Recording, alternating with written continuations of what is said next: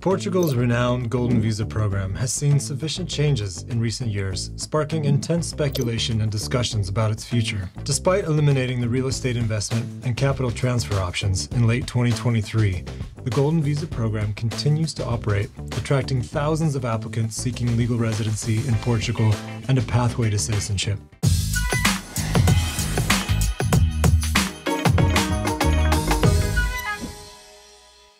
Because of the changes, subscribing to investment funds has now become the most popular way to apply. The advantage of this option is that it allows you to potentially get a good return on your investment. In 2024, the other options to secure the Golden Visa are by creating and maintaining 10 full time jobs or investing 500,000 euros in scientific research projects within Portugal. Or you could incorporate a commercial company or reinforce a company's share capital with an investment of 500,000 euros that creates five jobs or maintains 10 jobs.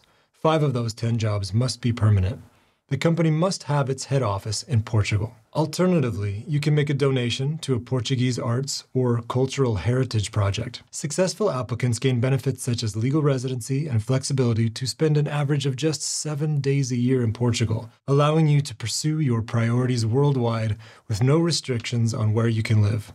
For families, benefits extend to spouse, children, and parents with diverse education, employment, and entrepreneurial opportunities, as well as high quality of life in the picturesque surroundings of Portugal. To be eligible, applicants must be at least 18, possess a valid passport, maintain a clean criminal record, and have sufficient funds to be financially responsible for themselves and any accompanying family members.